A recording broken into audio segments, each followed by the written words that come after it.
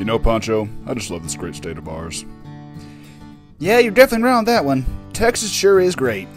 I mean, the food, the culture, the cities, the countryside, heck, even the history. Especially the history. You know, I'm a bit of a history nerd myself. Oh, yes, Tortilla, I already know that about you. You're always tell me random facts. You want to hear a random fact now? Uh, depends what it. Well, anyway, you know my grandfather served at the Battle of the Alamo? Your grandfather didn't serve at the Battle of the Alamo. Well, he didn't serve there, but he was there. Oh, really? Sure was. Chester A. Armadillo. Well, this is the first time I'm hearing about it. Well, and it won't be the last. He was there for the entire 13 days. Well, what happened to him? Well, eventually his burrow was discovered and he was caught by Jim Bowie. Go on.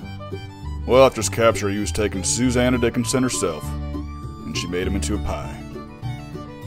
She did not make him into a pie tortilla. Huh, you want to bet? Then after that, Davy Crockett took a shell and made a hat out of him. Oh, really? I'm sure this is all very factual information. It sure is, believe it or not. I don't believe it, but I am kind of enjoying the story. You know what's even crazier? After that, Santa Anna found the hat, decided, you know what? I'm going to turn into a soup bowl. And that's what he did.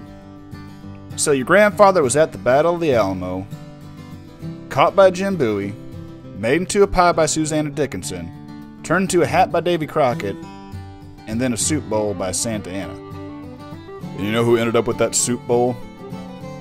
Let me guess. Sam Houston. No, but good guess. It was actually John Wayne. He bought the bowl in the 50s.